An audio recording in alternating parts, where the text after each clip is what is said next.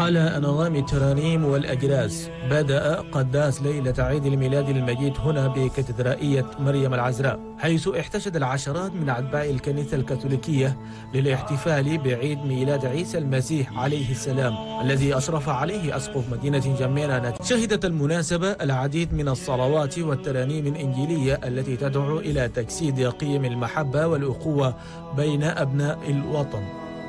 وخلال هذه المناسبة حث الأسقف أتباع الكنيسة الكاثوليكية على الاهتمام بنشر ثقافة السلام والتعايش السلمي وقبول الآخر.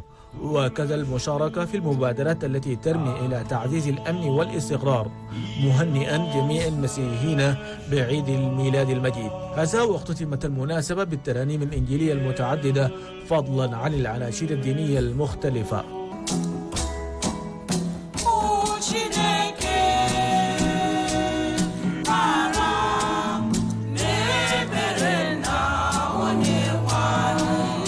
تعبئة كبيرة تجمع كنيسة السلام باحتفال بالعيد المجيد حيث قدم أتباع هذه الكنيسة. بهذا العدد لأجل إحياء ذكرى ميلاد عيسى المسيح عليه السلام.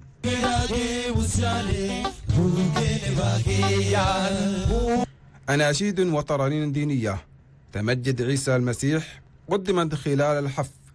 كما ناشد المحتفلون الرب بأن يمنح البلاد الأمن والاستقرار والسلام والتسامح بين المسيحيين.